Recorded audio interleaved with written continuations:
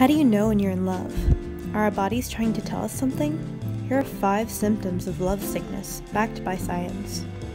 1. Feeling butterflies? If you've recently started seeing someone new, it could be the stress hormone cortisol constricting the blood vessels in your stomach that's making you feel queasy around them. 2. Stress in general will increase when you're in love. Testosterone, the male sex hormone, was also seen to increase in women who are in love. 3. Flushed cheeks, sweaty palms, and a racing heart are all common.